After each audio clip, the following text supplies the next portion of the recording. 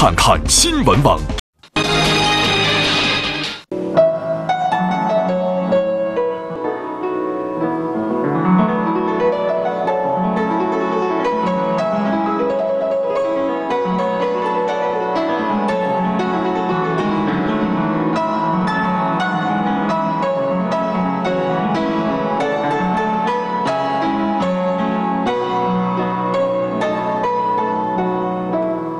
的孩子呢，呃，在四年前曾经来到我这个东方直播室。四年前他七岁，今年已经十一岁了。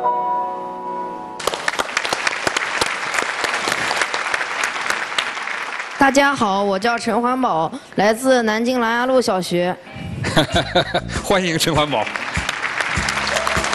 听着这环保的名字，大伙觉得很熟悉啊，好像在媒体上曾经见过。没错，陈环保的父亲呢，就是大名鼎鼎的陈光标。呃，这环保这名字好像是你爸爸给你起的是吧？嗯，是的。嗯，你哥哥也叫了一个很特殊的名字。我哥叫环境。你哥叫陈环境。对。你爸爸最近特别受媒体的关注。你知道对他的很多评价吗？嗯，知道一些。知道一些，有很多评价，我特别想知道，这些评价对你来说，你能承受吗？你介意吗？嗯，不介意，因为每个人都有每个人的看法。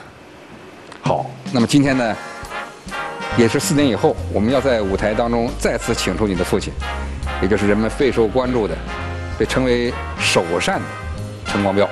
来，我们掌声有请陈光标。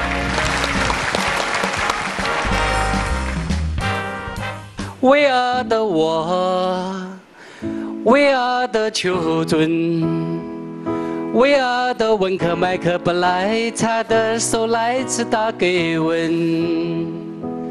伟大的我，伟大的求尊，伟大的文科麦克不来，他的手来自大格文。这一支神曲就是今年六月。陈光标美国慈善之行的主题曲，这场跨洋慈善行可谓怪事多多，一波三折。六月十六日，陈光标在美国《纽约时报》等报刊刊登整版广告，声称邀请一千名美国流浪汉吃饭，并向每人发放三百美元现金。六月二十四日，陈光标在纽约街头当着众多媒体的面向流浪汉派送美金。六月二十五日。陈光标在纽约某酒店举办慈善午宴，流浪汉蜂拥而来，众媒体摩拳擦掌。而事件的高潮则出现在七月六日当晚，陈光标声称联合国在慈善午宴上向我颁发了证书，我现在是世界首善了。然而不到二十四小时，联合国官方微博就发布了一则耐人寻味的科普帖，暗示陈光标的世界首善证书实为伪造。因为联合国的英文名称不是 United Nations，少了一个 S。此帖一出，舆论哗然，陈光标花钱买世界首善的质疑之声铺天盖地。一向以精明著称的陈光标，为何会上当受骗？争议迭起的美国之行有何来龙去脉？今晚慈善之行后，陈光标做客东方直播室，面对这场疑云重重的跨洋慈善秀。他究竟会作何回应呢？话不说不清，理不辩不明。这里是东方直播室，我是洛鑫。本节目感谢交通银行独家冠名播出。陈光标先生，由于这一个证书，他就有了很多的新闻啊，号称联合国给你发了一个叫“首善证书”，授予中国道德模范、中国首善陈光标先生为世界和平形象大使及世界首善荣誉称号。二零一四年六月二十五日。但是我们后来得知这个证书竟然是个假的。对对，当时给我发的时候我没有怀疑过，后来我只是看到联合国网站一个披露说这是假的，我才知道我上当受骗，我三万美元买了一张废纸。发一个证书为什么要提出要花你三万美元呢？就是二十四号下午，一个志愿者找到我说是联合国。那个组织要聘我为世界和平使者及世界首善这个称号，他让我给他联合国全球发展基金会捐六万美美元。我说能不能三万？我说这还讨讨价还价可以。我说那你把账号给我，我回去可以打给你。他说你最好给我现金。当时这周露露写个收条给我。当时我就把现金给他了，他说捐给基金会就捐给基金会了呗。如果是捐款，我们说有捐款证书，这个我觉得可以理解。但是如果说我需要你捐一笔钱，然后我给你一个荣誉称号，我觉得尤其不妥。我是中国首圣，也是亚洲首圣的，就缺少一个世界首圣。我就喜欢荣誉，对吧？我估计陈先生肯定还没有一个上海首善的一个牌子啊。哦我觉得你这个想颁发 没有，我不能颁发。像这个徐老师的研究中心可以写一个啊。来，我们请出观众来。陈首善，你不要再装了，我感觉这本来就是你自导自演的一场戏。你想这么简单一个骗局，你手上有那么多的智囊团，有那么多的助理，你会不知道吗？这个事情？第一，陈总到美国执行，一个助理秘书没有带，就我一个人。第二，我们有一个智囊团，到美国三天那么大的一个活动，就是我一个人，也没有第二个人帮助我。可以随时随地打个电话来求证这个事情，是很简单一个概念吗？你说我自导自演，要拿出依据来，嗯，并且我能拿出依据来，是我就是上当受骗的。说心里话，这张证书看上去就假就假。咱们先不说英文部分，怎么可能一个国际组织给你颁发的证书上面会有中文的字迹？我不懂英文，是不是单独针对我打成中英文和中文的对照？我要认为假的，我回来不会放在我的微博里面。我如果知道假的，我也不会公布。而且我对那个所谓露露的那张收条啊，我觉得很有意思。嗯那个中文写的是歪歪扭扭的，这显然不太符合逻辑。当时这周露露写个收条给我，后来这点就引起我怀疑。当时还给我一张名片啊，是联合国全球发展基金会的这个全称的名片。我想，那你就能不能在二十五号的新闻发布会啊，几百家的媒媒体面前能给我颁发？他说可以。我认为能在世界媒体面前颁发肯定是真的，是假的他不敢颁发。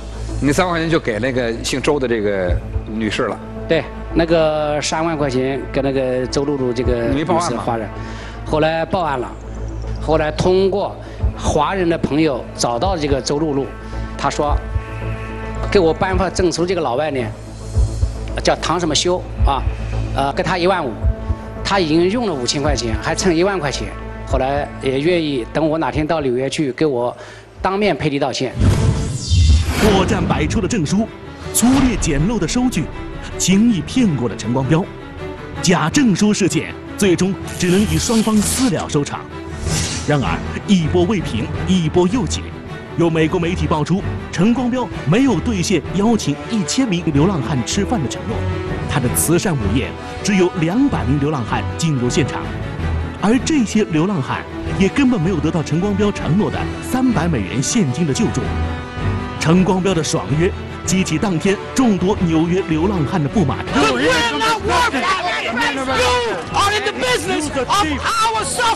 They said they're gonna give them money. People, when you tell people they're gonna get money, they want it now. 声势浩大的慈善午宴为何大幅缩水？不惜重金刊登广告，陈光标最终为何出尔反尔呢？呃，陈光标，现在你看过这段报道吧？我看到过。你看到过？呃，他的描述基本上属于事实吧？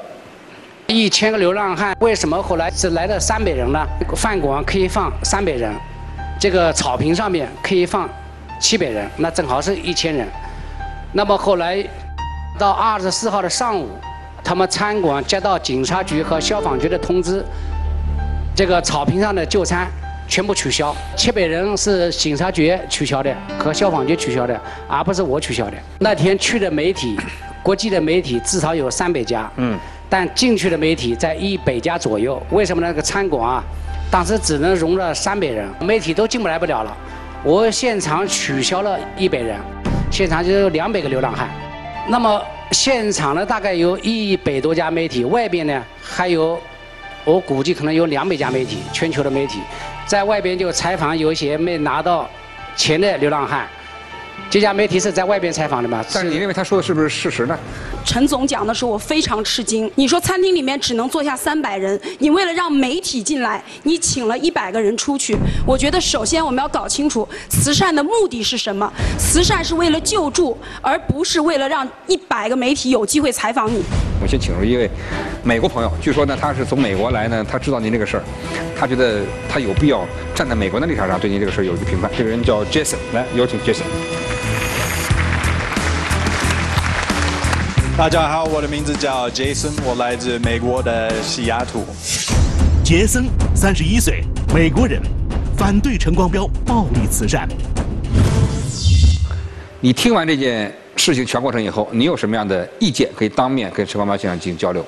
呃，我们在美国，我们最大的这个意见要问陈先生，本来说要给他们每人三百块美金，但是后来呢，就是不给的。然后就是让了很多没有钱的美国人心里不舒服了，因为一般你说到会做这个，以后要做到的，如果不做到的，就是肯定很多人会不开心的。每人三百美元，我已经付给了美国那家救助站，并且救助站也把每人的三百美元、九万美元的收据也开了给我。据我现场看到，在外围来的流浪汉。大概有几千人，我不可能在那个场外那么多几千个流浪汉，每人去再发三百美元给他。救助站不让我每人现场发，我讲哪怕你现场让我发几个意思意思也可以。我们为什么给这个救助机构，而不是给他们？因为有些流浪汉真的是会用这个钱去做不好的事情。因为我讲得很清楚，我今天送三百美元给你们，不是让你们买酒喝，不是让你们买毒品。他不让我现场发，所以我也是表示尊重救助站的这个这个意识。嗯，我问一下这个 Jason 先生，就是说在美国有没有像陈光标先生的这样的事儿，找一千人，每个人发一百到三百美元这样的事儿有没有？呃，给很多人一些钱，一般不会的，不会的，不会出现这样的情况是吧？啊，对对。当场发现金不太可能。啊，对对对对对。找很多人发现金更不可能。对，因为这这种方式，我们觉得可能是有一点暴力的。呃，我不知道，如果这边是有我们带来了一张照片，啊，你可以看出来这个人的表情是，呃，不开心的，心里肯定不舒服，有一点感觉像，呃，你可能在鄙视他，或者觉得这个人太穷，我我必须让这这个人拿这个钱。这张照片因为报道的比较多，陈光标每纽约街头给流浪汉钱，流浪汉拒收。那么这位先生呢，他不是流浪汉。他是街头卖小商品的一位美国人。我说我买两个，给你一百块钱就不要你找了。我带着微笑，双手给带着微笑，第一、第二鞠躬，双手给他，没有没有暴力。你看暴力吗？我是很尊重他，要买他的小商品。他可能不是流浪汉，但是呢。上他说一个是十块钱，你说买两个，我我多给你。你看他的表情还是心里不舒服的，因为这种行为是有一点像看不起他们的样子，或者是像我哦，我看你这个样子在这边卖这个啊，你肯定是个穷人。这件事出来以后，我们想听听三位嘉宾的意见。呃，这件事陈光标有没有责任，或者说他做的很好，完全是水土不服？在我看来，你这所有的行动。包括你的所谓的这几十万的慈善行动，我看下来不是慈善，是为了你打造一个国际形象大片儿，而且这个大片儿是三百多家的国际媒体来帮你全方位的制作的，所以我觉得你这是一笔生意经，不是慈善。这笔生意经太值了，几十万美金可以能包装出来一个国际形象，值。但是我的意思是什么呢？有没有想想第二个陈光标拿出这么多钱？去帮助困难的人群呢？没有啊，有很多类似陈总这样的慈善家。这里面就是涉及到了什么呢？就是说，不管是张扬的也好，或者是低调的也好，要就是说多元的一种这个包容，是吧？那么我就这这样的话，就对中国的这个慈善文化、慈善行为是一种推动和促进。嗯，我认为也是最重要的啊，就是这个效果。简单的吃一顿饭，事实上是没有办法解决贫困问题的啊。现在来看。呃，我觉得有很多可以要打问号的。如果是一个慈善行为的话，我们是希望它是规范的、持续的、有效果的。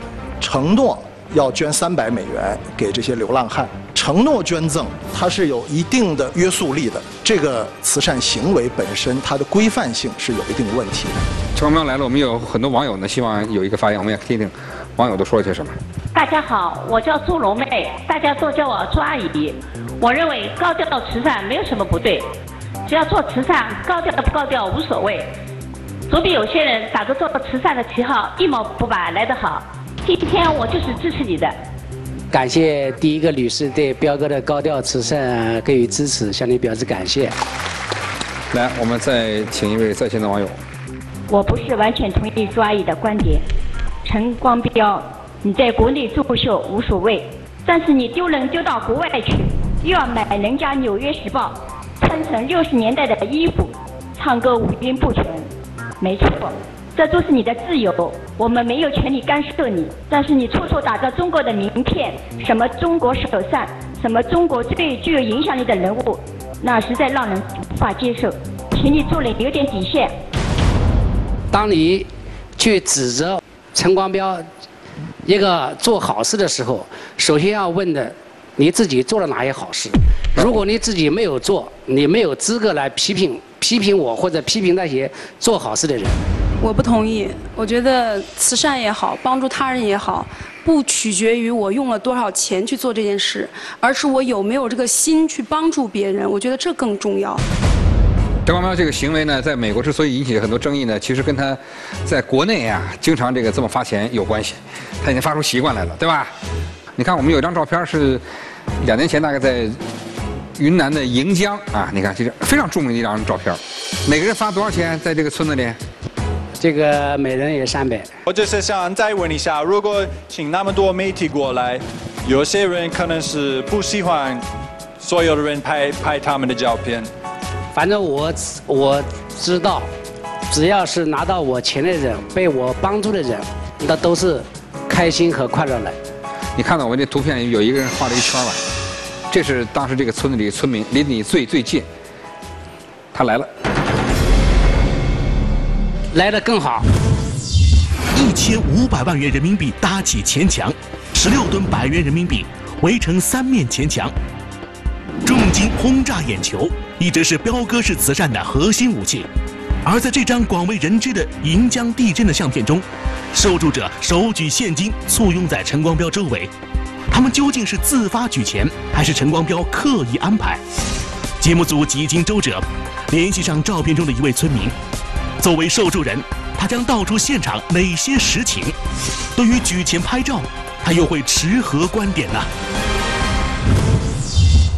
好，那我们就请出这位吧。这位就是来自于盈江拉勐村的一个村民，他的名字叫金小四。来，有请。金小四，云南盈江县拉勐寨村民小组长。照片里这个人是你？是啊，是你是吧？是，我是在去年我我才见到这张照片的，拿到钱和没拿拿到钱呢一起举起来。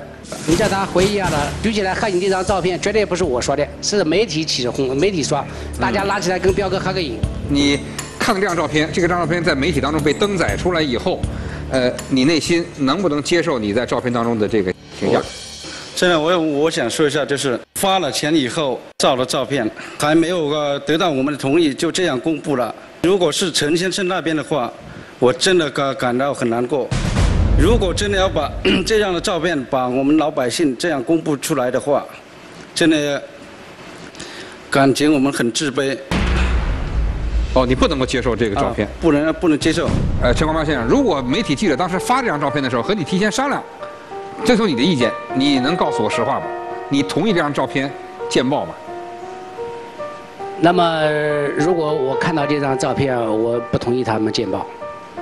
我只能告诉他，我现你可以发每人现场，我发放给多少你怎么去解释你在美国纽约邀请了一百家媒体进入到餐厅向那些流浪汉发钱的这个行为呢？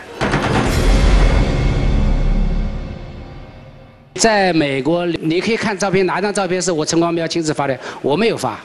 好，我们再有请一位来做自我介绍好吗？哎，大家好，我是第一财经的编辑，叫杨一，老师好。哎，你好，杨一。呃，因为我本身其实一直很关注您的一些消息，我们看到其实国内很多媒体对您这个之前都有一些深度的调查。您应该是在采访的时候说，您一一年之前啊，已经这个捐了不下十五个亿了，但是他们后来有查过您的这个收益，说您当时这个公司的收益是属于这个亏损的状态。所以我是很很好奇啊，就是如果您这个公司是处在一个亏损的情况，您拿什么来捐这么多钱？第一。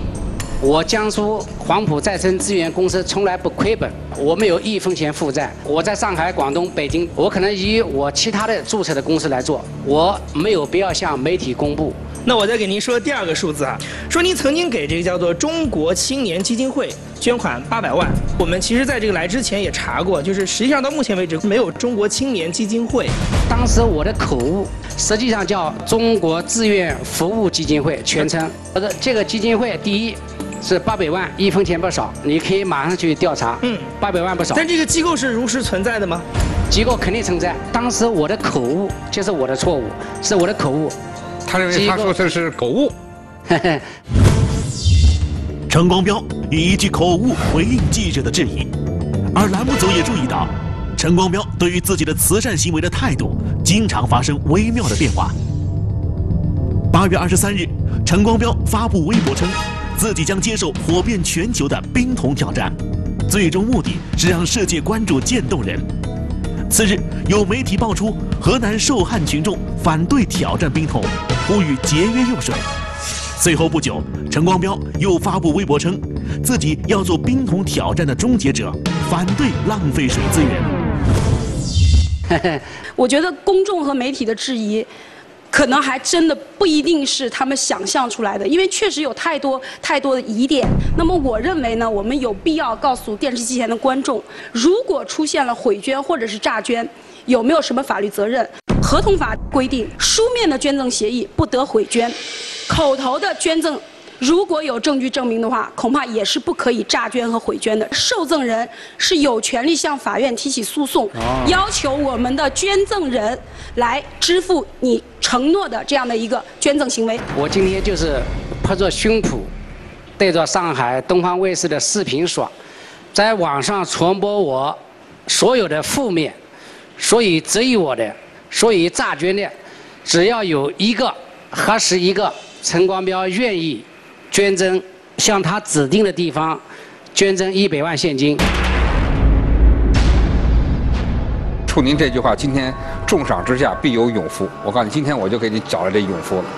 这位先生来自安徽的阜阳，所以他据说是有真凭实据，说明你有诈捐。二零一三年三月二十一日，农民江新志在北京王府井大街高举标语，指控陈光标诈捐二十万元。并要将其告上法庭。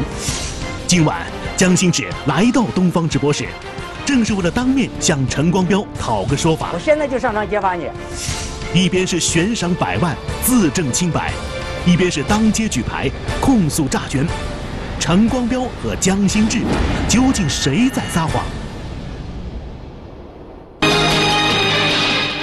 二零一三年三月二十一日，农民江新志在北京王府井大街高举标语。指控陈光标诈捐二十万元，并要将其告上法庭。今晚，江新志来到东方直播室，正是为了当面向陈光标讨个说法。我现在就上场揭发你。一边是悬赏百万自证清白，一边是当街举牌控诉诈捐。陈光标和江新志，究竟谁在撒谎？本节目感谢交通银行独家冠名播出。你为什么说陈光标先生答应给你二十万没给啊？这事是去年元月份左右，我孩子有病，在太和我们县人民医院住院，完了那个好心人张一农，他就帮我儿子走太和医院，弄到我们安徽省安利医院去治病，当时这住院费交不上，这好心人张一农就是说我江峰爸爸你不要担心，我想办法给江峰救治。我去求助别人，后来就是医院里交不上钱，就我孩子就出院了，把孩子送到家，我下午就出门走了去打工。我到北京干了没有几天活，好心张玉东说，江鹏爸这个江鹏有救了，这个陈先生说答应给二十万，一直到现在我连一瓶凉茶的我也没见着。这二十万跟凉茶有什么关系？他是捐的给给江鹏捐的是这个二十万凉茶，不是二十万现金。张一东是打电话叫我回来，他说你想办法找你村的人联系，推销这个凉茶。喝凉茶能治你儿子的病是吧？他不给现钱，他给给的这个凉茶叫我回来推销。不是你儿子什么病啊？血友病。怎么回事？我没太听明白。这陈先生，你你见过他吗？你没你没见过他？我跟他没见过面，你可以问他自己。啊，是没见过吧？是是没见过。你没见过？那你刚才说那个张义东是什么人？他是在网上查到姜鹏的病以后，这他也是个好心人，走走我们县医院帮江鹏弄到这儿来了。那你见过这个叫张义东的人？张义东我见过啊，他到我公司门口下跪，说要帮助那么这个江先生，他家小孩有病。因为我这个每天找我求助的人是太多太多，收到求助信一天过百份，每天上我们求助的一天正常二十个左右。我说不是，是不是每个人找到我陈光标，我都要去帮助他的？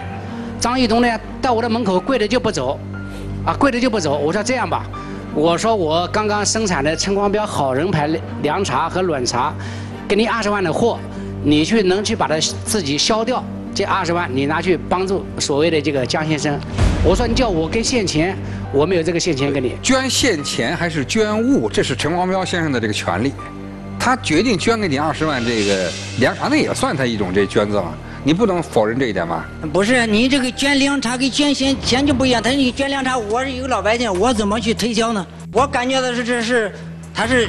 骗我们老百姓，叫我们给他推销。张义东说：“给你的几万块钱，帮助你解决的几万块钱有没有？有，对吧？对。好，张义东是一个穷小子，他走外边拉了一些企业家，还帮助他了几万块钱。这个不是，这是他想办法捐钱，是我们镇政府、最后全体党员。最后让我气愤的是什么呢？跟他在北京街头去拉横幅，说我和张义东都是骗子。”是不是你在北京这个？是在王府井大街，我一个打工的朋友给我弄的。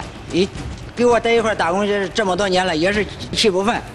说他就是诈骗，就是哄你玩呢，逗你玩呢。没找我核实，你不要把我名字也扯进去啊。你答应的给给给张义东这个二十万给江鹏治病的钱。张张一东来了没有？我答应了，我那叫张一东过来了。现在张一东这么关键，我们得把张一东给敲上来。诈捐不是我，是陈光标。大家好，我叫张一东，我来自安徽合肥。张一东，三十二岁，安徽籍草根公益人士。在江新志所说的诈捐事件中，张一东是一位关键人物。二零一三年，在得知姜鹏的病情后，张义东找到江新志，声称愿意为姜鹏寻找善款。不久，张义东便告知江新志，陈光标愿意为姜鹏捐款二十万元。据记者了解，张义东与陈光标此前素不相识，他如何做到让陈光标承诺捐款二十万？二十万元捐款又为何变成二十万元凉茶？在张义东和陈光标之间，还有着怎样的纠葛呢？您这身打扮是您的这个专用的行头是吗？嗯，也不是，因为怎么说呢，这个我比较崇拜雷锋，也比较喜欢雷锋，呃，雷锋也是我今生唯一的一个偶像。陈光标先生都能穿着服装走到纽约，我为什么不能穿着这种服装来到上海呢？这姜先生跟陈先生二位呢，说你把他们俩都欺骗了。呃，这个事情经过是怎么回事呢？就说这个姜鹏是我们安徽太和县一个农村家庭的孩子，他得了这个疾病呢，有二十年瘫痪在床不能动，母亲也没有了，这个爸爸呢也在外地打工。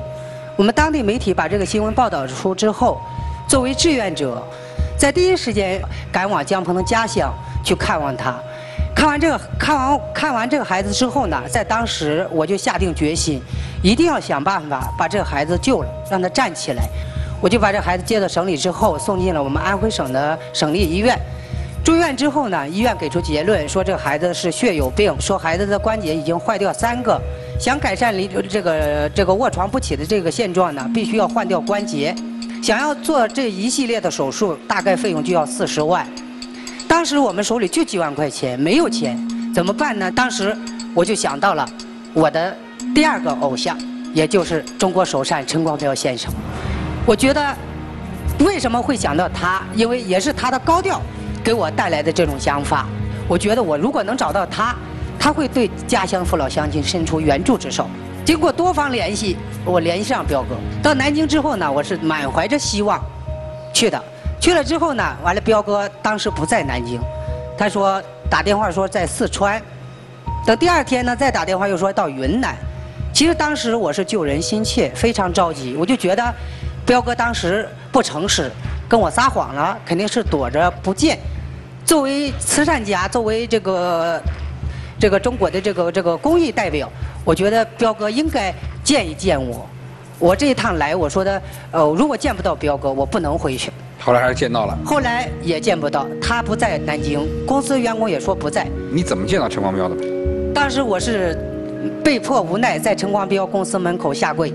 我当街一跪，一月十七号还很冷，我穿着羽绒服，我就在他公司门口下跪，一跪跪了五个小时。但是他一直就见不到这个人，我就在想，你是真善还是假善？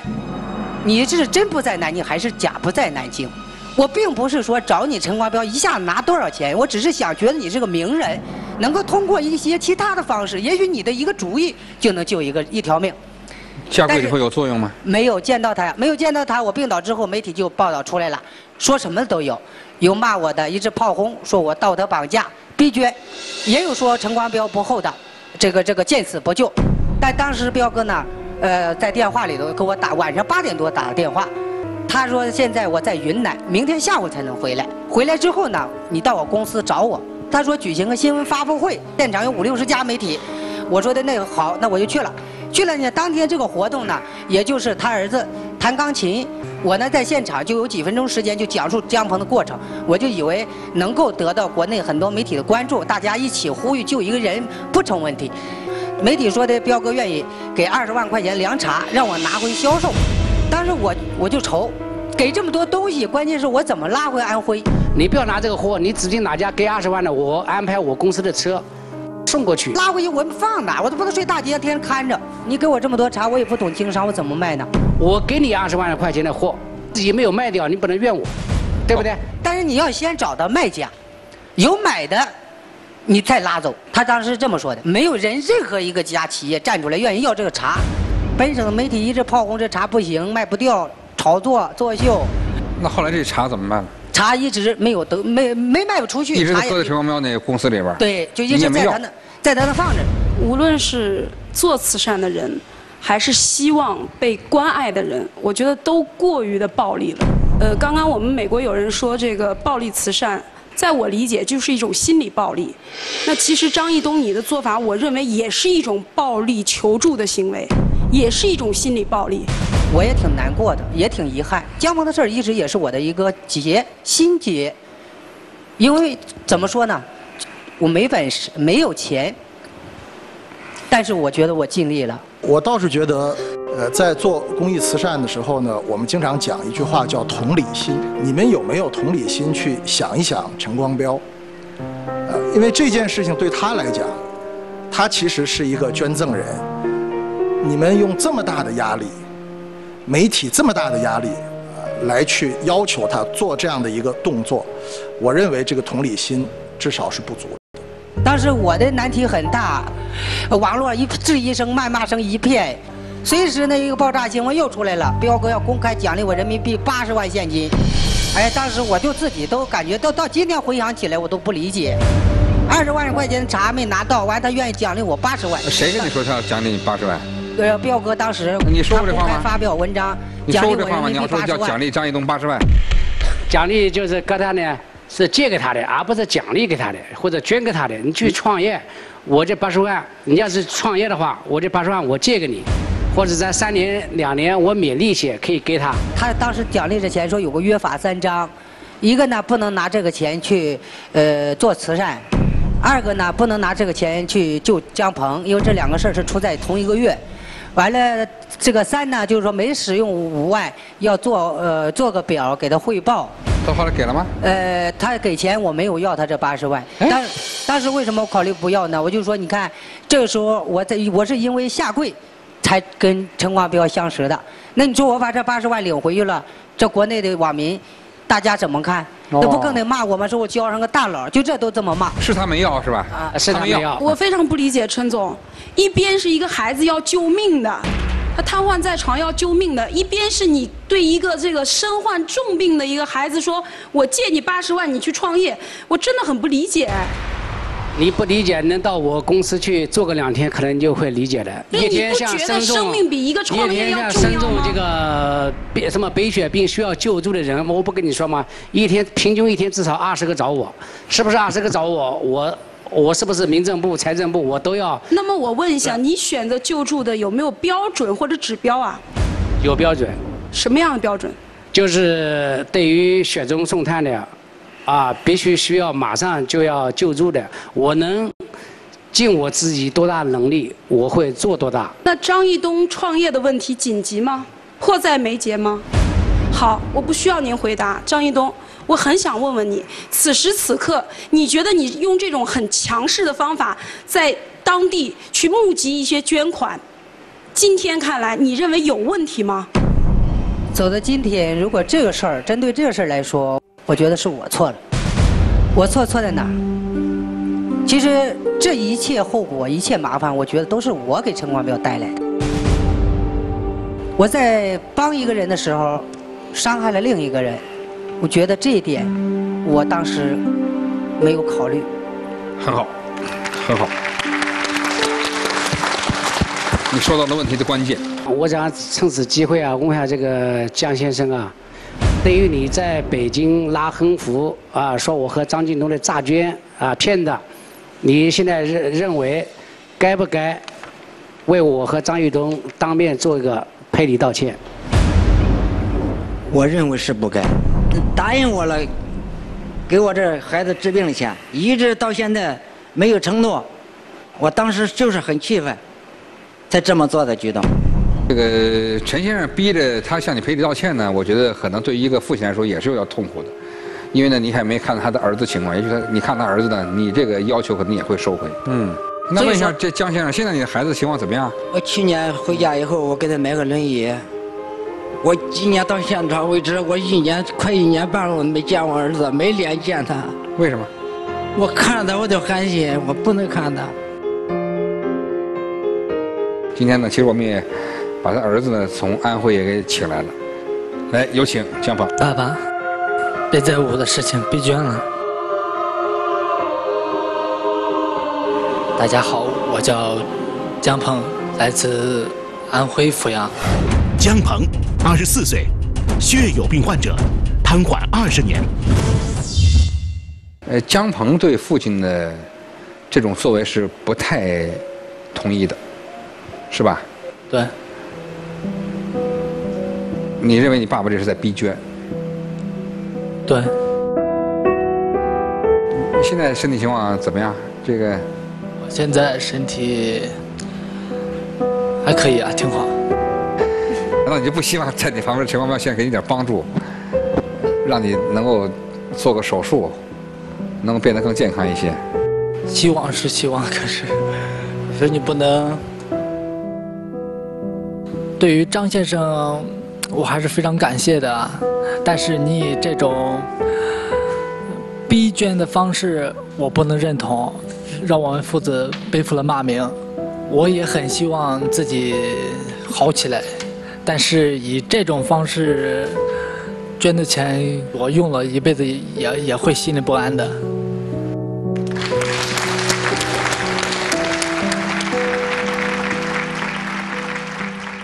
江爸爸在这里不要太消极。第一，现在张一东显然没有销售这二十万块钱凉茶的能力，那么也就是说，江鹏。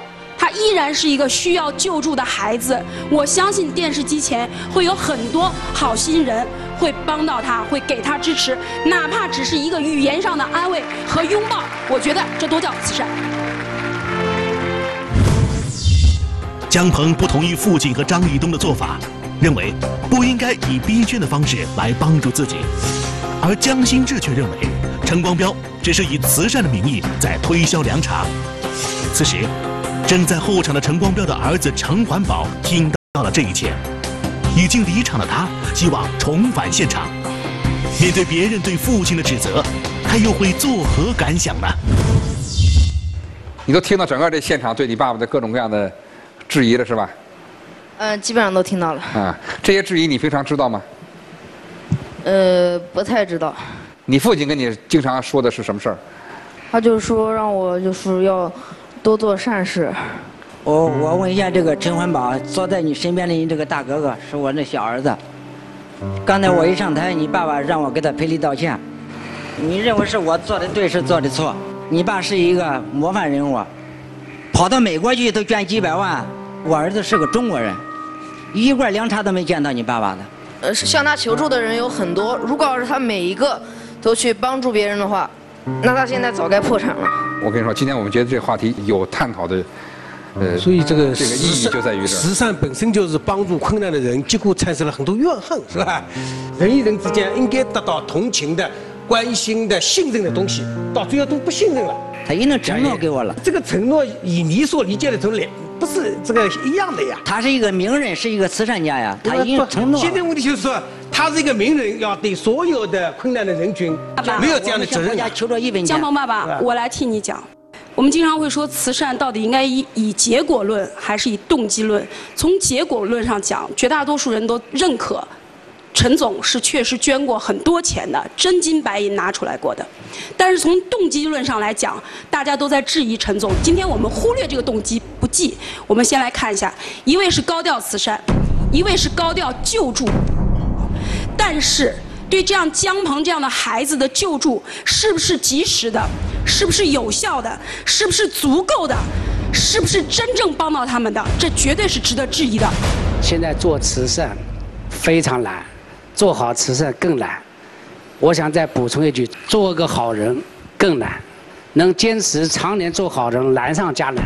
真正有活力的、真正有希望的慈善是在身边的，啊，因为我们每一个人都很难成为道德楷模。因为觉得他离自我距离太远了，道德楷模嘛，离我们很多人都太远。对，包括我们在座的很多人都就不会去努力去可能去啊触及这个。必须得给我们一个伸手可及的慈善。我看到需要帮助的人太多太多，我的高调来唤醒更多的富人的人生价值观、财富观，这是我的归根的。目的，你会介意孩子像你一样的所谓的高调的向世界上去宣扬这种慈善吗？当然，我希望培养我的这个孩子能做我的接班人，啊，也像我这样，同时赚来的钱，也希望他能像我这样高调。我也说过，哪怕捐两毛钱，也要高大声的说出去，说去的目的就是能感染、带动更多的人做好事。这就是我对两个孩子的要求啊。环保同意你父亲说的这话吗？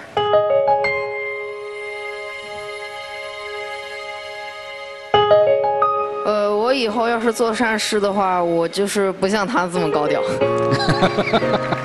捐两毛钱让世界知道，你觉得这句话是有问题的？呃，是有些问题的。来，我们请出观众来说说他们的感受吧，做自我介绍好吧。大家好，我是上海的本地一位大学生，彪哥。今天我过来就是来挑战你的，彪哥。你说过高调砸钱是为了带动大家一起做慈善，但是大多数的人不像你那么有钱，他们没有能力，也不可能砸那么多的钱去做慈善。我今天就是来给您下一个挑战书的，彪哥。不砸钱，你还能做慈善吗？对慈善的概念，我们老被误认为是给钱。慈与善这个词本身没有一个字儿是跟钱有密切相关。彪哥今天告诉你，不砸钱，完全可以做慈善。我可以请求上海东方卫视跟着我看，我不带钱或者拿很少的钱，能不能去做慈善？二零一四年七月二十一日，陈光标在个人微博上发帖。宣称彪哥没钱照样做慈善，并征集南京当地的求助对象，相约不见不散。一时跟帖数千，需求花样百出。发帖八小时后，节目组赶赴南京，在陈光标并不知情的状况下，准备了一场突击谈判。但是。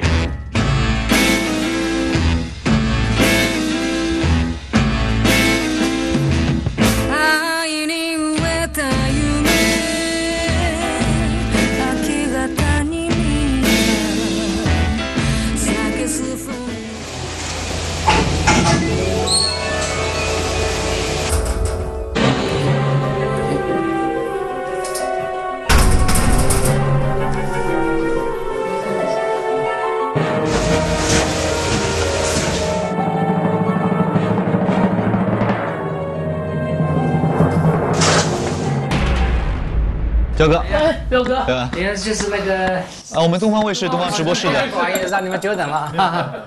让你们久等了，让久等不好意思。彪哥，就是说我们这次的慈善的一个有一个挑战任务，您觉得您自己可以完成吗？我认为就应该好好的去秀一秀。从美国回来两周，巴菲特捐了二十八亿美元，看我们那个彭世义同志，呃，捐一亿美元，这也都是彪哥秀的，美国秀的回来，你看二十九亿美元。慈善秀呢讲究真金白银，作秀不一定说就是坏事。彪哥这么多年的慈善秀，我认为带动了很多的富人。Got my bags packed and I'm on the train, pursuing my 好，那这样子，我们就把这次的规则跟您说一下。就是彪哥，我会跟您解读一下这次我们的一个规则。我们明天的一切费用，都是由我们节目组提供的有限的经费来完成您所要完成的慈善挑战。我们会没收您的钱包、钱包，还有您的银行卡、银行卡，而且不能由您的员工来陪同。您只能用这么有限的一些经费去完成明天的任务，啊，可以吗？那你说给我钱，我想问你给我多少钱？那您希望是多少呢？我的吃饭费，我认为有个三五十块钱，最少的，起码最少要三五十块钱就够了。那明天主要是任务是我们要完成这三个挑战，可能这个帮助的同时，也可能会有一些费用的的产生，这也包括在这这个里面。嗯，您觉得可以吗？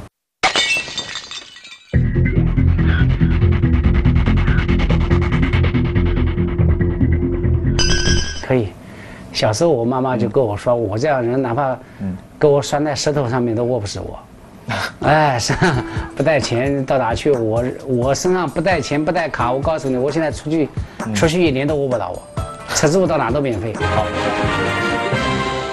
好，那这样子，彪哥您在这边，请签个名。啊啊，还怎么还叫我签名干什么呢？呃，这是一个慈善挑战同意书。啊。呃，同意一下事项，就刚才你同意了几点我刚才？说的那五项内容。啊，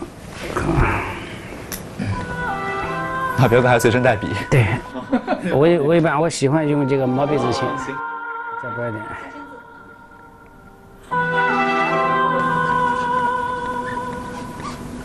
十七二十一日。好，好，那祝愿彪哥明天能够顺利完成任务。顺利完成任务。好，好，没啊好。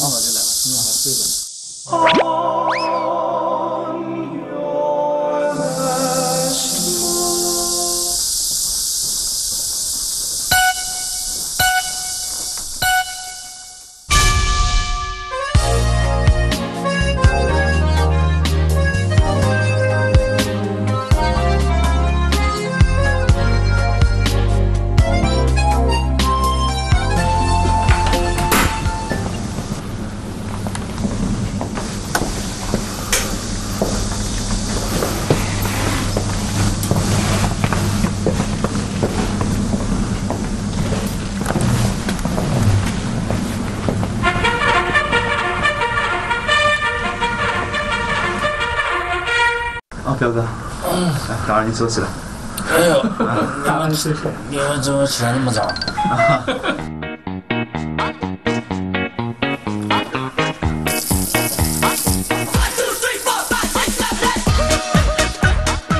阳光的脸，慈善的脸啊，百看不厌。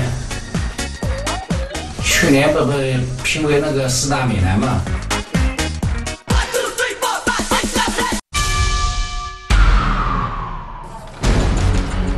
这是我们今天的一天的经费。这怎么这么嚣张？里面是里面是欧欧元啊？你可以看一下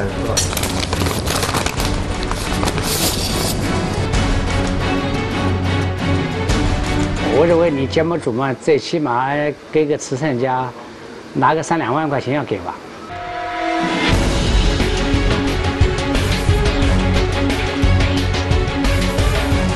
给我五百块钱。这我没想到。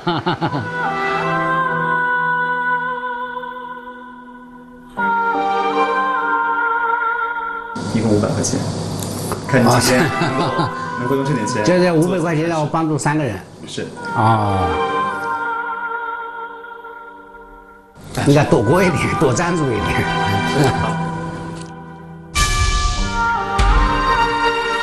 彪哥有五百块钱，我再强调一下，嗯，就是您不可以使用您自己的私车，全部使用公共交通，没有助理帮助。你彪哥，您要信任我们那个节目组，要无条件的接受我们节目组设计的一些任务的要求。可以，没问题，可以是，哎，可以。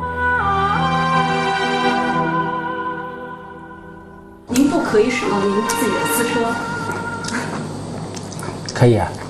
嗯，那你打算怎么解决您的交通问题？交通看有地铁就坐地铁，有有这个公交就坐公交呗。那你要零零钱不花钱嘛？那我还是骑自行车呗。骑车，对，我每天上下班都是骑自行车嘛。今天南京的温度可快三十九度了，您骑车，流点汗减肥嘛，我现在正好有点有点胖。第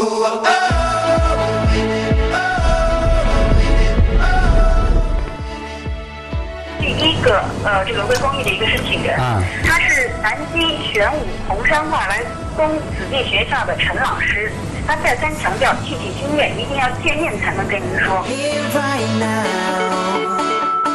Yeah, yeah. Wanna scream from the top of my lungs. Wanna show. 我是南京玄武红山外来工子弟学校的一名暑期的志愿者老师。昨天正好在网上看到了陈光标发的一条微博，呃，我心里面有这样一个很大的、很很迫切的一个愿望需要实现。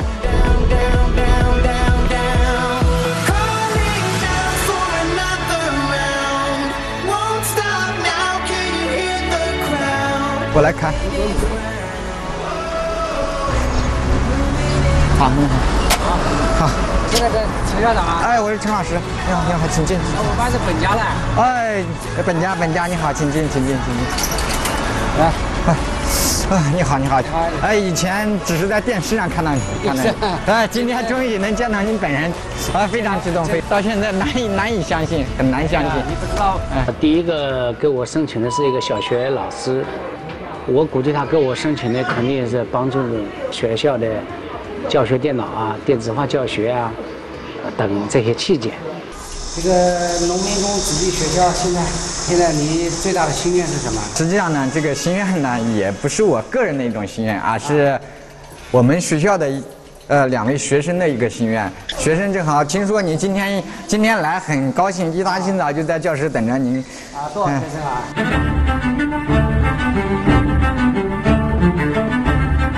呃，今天主要是两名学生。这两个学生啊？哎，对对。来，学生，这个是陈叔叔。两位同学好啊。这个这位是谁啊？雷锋。雷锋啊。那我和雷锋的区别在哪里啊？嗯，他一出门就是好事一火车，你是走到哪里哪里有困难。啊，考试有火车，对，我考试有多少？我有有几火车啊？他有一火车，你有两火车。啊，这样，来坐坐。那我想听一下这个你们两个的梦想是什么？梦琪先说。嗯，我想要一个洗衣机。洗衣机。想要一个洗衣机，啊，洗衣机，嗯，你我想要滑板吧。滑板，嗯，就叫滑板，滑板。滑板机。滑板是干什么用的？我也不知。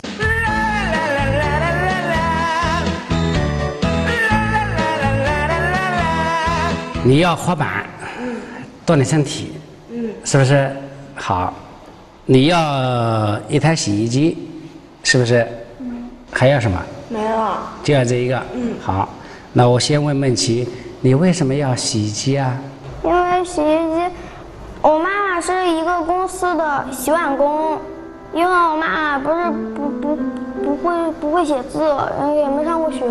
嗯，然后呢，家里的洗衣服，还有做饭，还有打扫家，都是我姐。有时候我在做作业，她在洗衣服，她就总是总是叫我去帮她。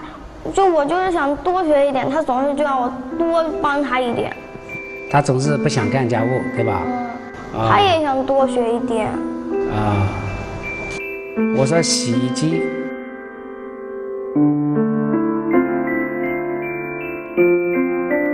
我今天带的钱呢，实际上这个钱啊，带的很有限。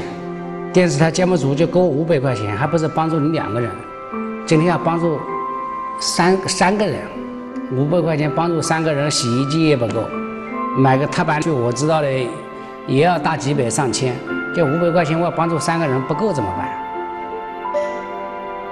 对不对？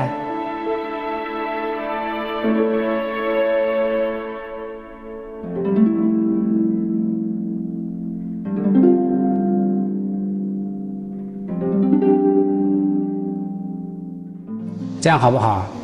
我想这个洗衣机想到，我给你买一台二手的，就二手洗衣机，有很多家里面装修啊，洗衣机都非常好，在二手市场都不要了。你看这样可不可以啊？可以。好，到时候再再帮你教会，好不好？哎，那我们到二手市场去。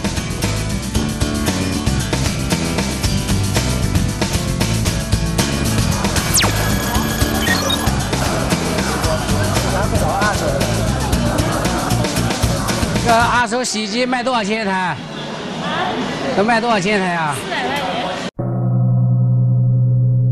钱啊，四百。呃，最低多少钱啊？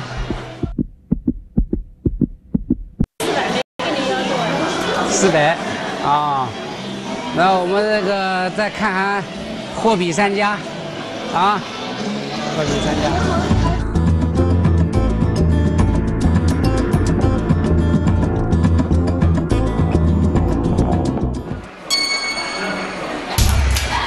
姐夫，你这个洗衣机卖多少钱一台啊？卖多少钱一台啊？那个好的得四百多，老的得三百多。啊。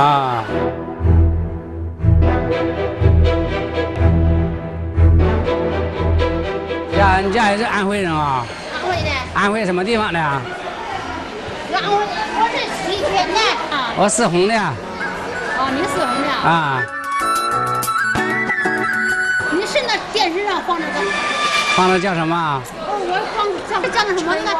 哎哎，不讲了。啊知道了知道了。知道了啊。这两个是给你介绍一下的啊。这两个不是我的女儿，是这边那个农民工子弟学校的学生。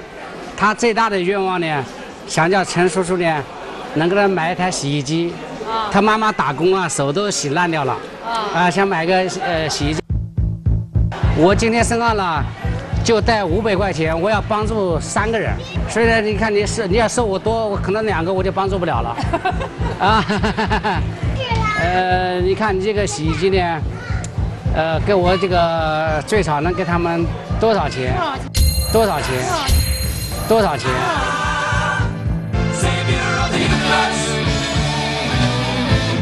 这不挣那钱了，你看这这说实话，你多少钱拿了一个多少钱嘛？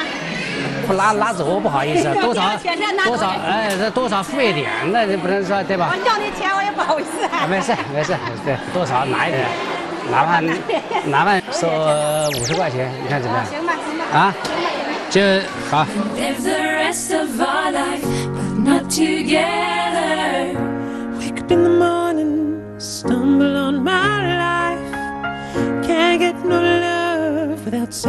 the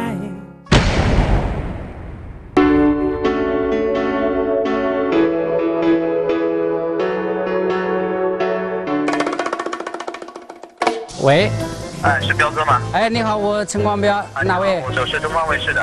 啊，你好，你好。第二个慈善挑战任务，他是一个那个出租车司机，但是是他现在呢，可能他一直在开车，他地方还不是很确定，所以我把他的电话发给你，要不你跟他跟他联系一下，好吧？啊，好的好的，哎，再见再见，好。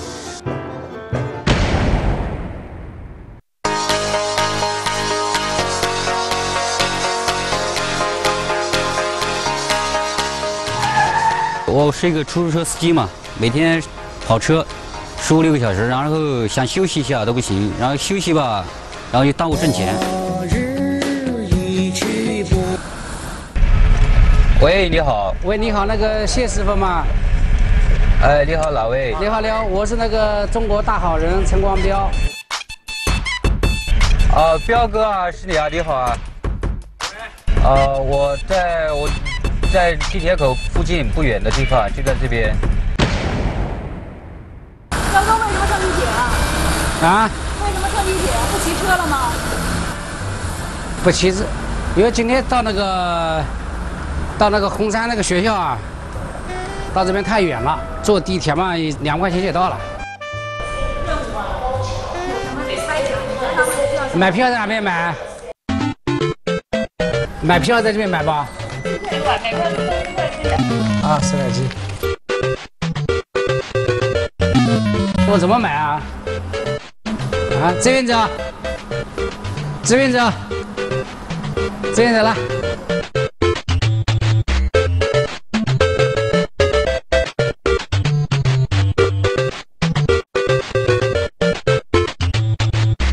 真的是第一次坐地铁。南京地铁开这么多年，第一次坐。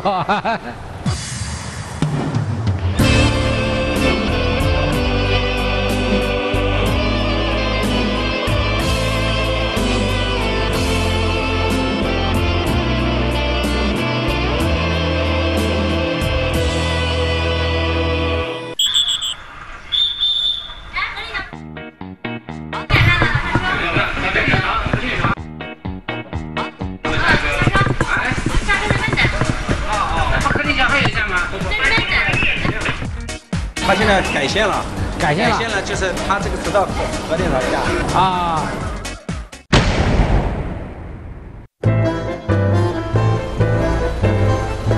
你是谢师傅吧？哎，你好，彪哥。啊，你好。把车熄火，平时时候不用车子注意节约低碳啊。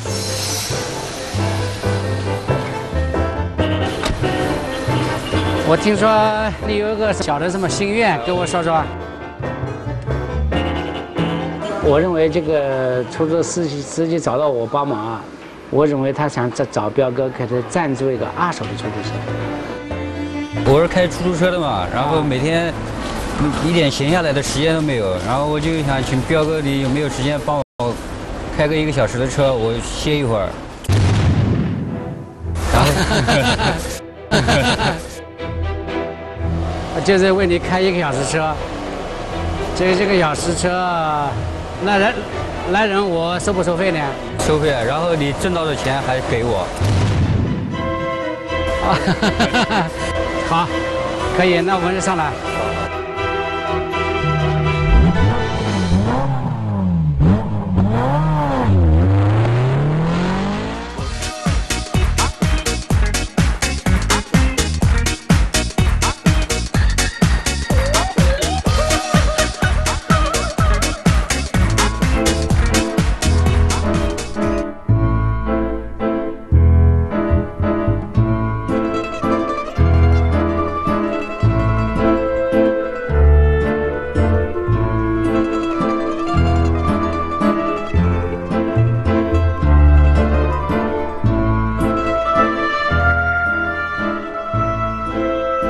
叫出租车的呀？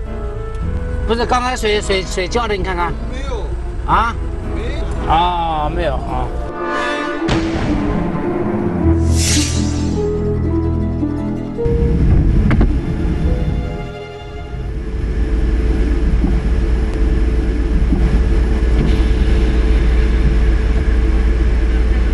在哪？可以上来吧。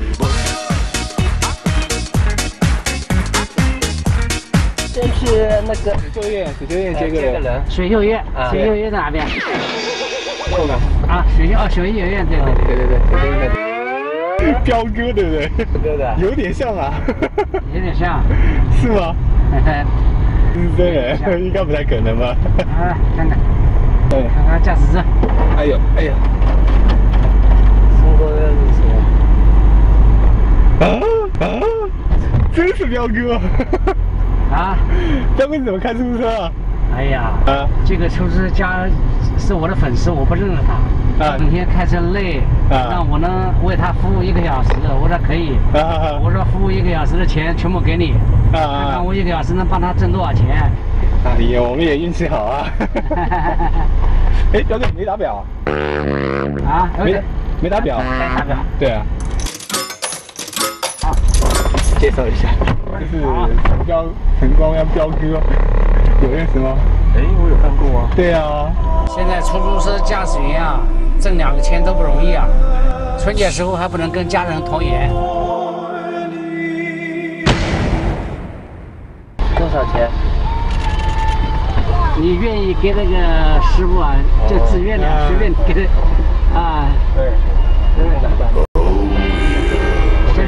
多一点都可以，因为家庭困难，他不让我给。好。那那彪哥，那个发票给我们留一下，我们做纪念好不好？好，好，那给他给那个，直接跟你张对吧？好，好的，好，给给，发发票给我们一下吧啊。好，好，谢谢啊，谢谢你们爱心啊。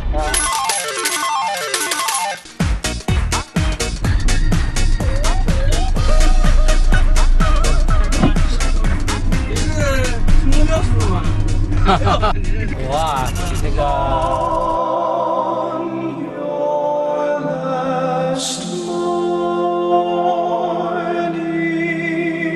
一多少钱？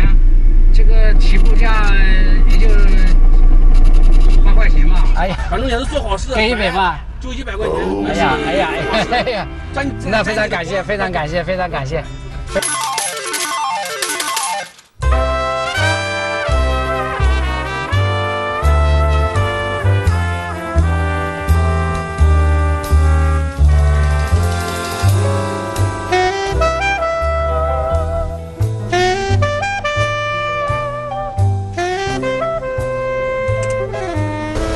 彪哥，你辛苦了。好啊，跑的怎么样啊？我跑的还是不错，关键你这一个小时有没有休息好？休息好了，休息好了啊。好，这一个小时呢，我给你挣的是三百啊三十八块，三十八，这么多？三百三十八啊。啊，我没想到彪哥一个小时能给我挣三百多块钱，有人给我打工的感觉还是挺不错的。晚上六点，陈光标赶往第三项微公益申请人家中。哎，彪哥你怎么来了？好，申请人是十四岁的小魏，因为父母是双职工，平时工作强度大，一家人很少聚在一起吃饭。小魏想学会自己烧菜，给父母送上惊喜。陈光标为此花费了二十一元，共计四十分钟的时间，成功完成了第三项任务。节目录制一周后，我们再次约见了陈光标。为了了解微公益的后续情况，我们拨通了第一组申请人徐家姐妹父亲的电话。喂，是那个徐爸爸吗？我是我我是彪哥彪哥对。你好你好你好。啊，上天那个你家的女女儿需要的那个洗衣机，后来他们送到了没有？啊，收到了。哎，用了没有？嗯，用那个没用。上天那个你家的女女儿需要的那个洗衣机，后来他们送到了没有？嗯，收到了。哎，用了没有？嗯，用那个没用。怎么还没用呢？嗯，家里面地方小一点嘛。啊？家里面地方小一点。家里面地方小，啊，放放不下。哎。你家住了多少平方米房子啊？大概住二十个平方吧。二十个平方。哎，我们一家五口人住的。那你还需要彪哥给你改进一下的，给你给你租给你租用一个一一百平方米的房子，好不好？啊，不用了，谢谢彪哥，谢谢彪哥。嗯，怎么说呢？要自己要靠自己努力一点，不能老是光靠哥哥吧，对吧？现在洗衣机既然你们没有用，你洗衣机现在怎么处理的？等一下，还有更比我们更需要用的那个东西呢。我跟邓校长说了，叫他给捐给那个敬老院的。说要捐给敬老院是吧？哎哎哎哎。啊，好的好的好的好的。我刚才跟这个徐爸爸聊完，又让我有一个新的想法。呃，说实话呢，而不是那天我帮助不上你三个人来谢谢我，发自内心的我真正谢谢他们。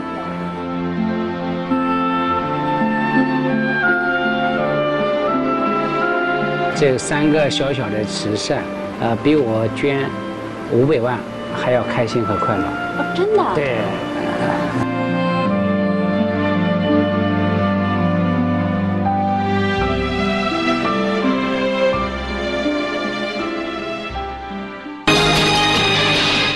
锻炼之前是一百五十多斤，半年时间现在减了三十斤，只有五米，他的都只有二十多分钟。那还真的挺吓人的。他奶奶给他吃猪蹄，天天吃，一天三顿都吃。中午的时候半斤米的干饭。奶奶这个食谱是不是属于谁吃谁胖的那种？减肥，就把我女儿给减没了。我现在就非常后悔，本身就是伤，我好心疼。锻炼，才能有一个质的改变。秦教练，我认为你这里的训练方式存在巨大的法律风险。我们这个社会需要诚信，需要诚信的慈善。再次感谢交通银行对本节目独家冠名播出。下期东方直播室再见。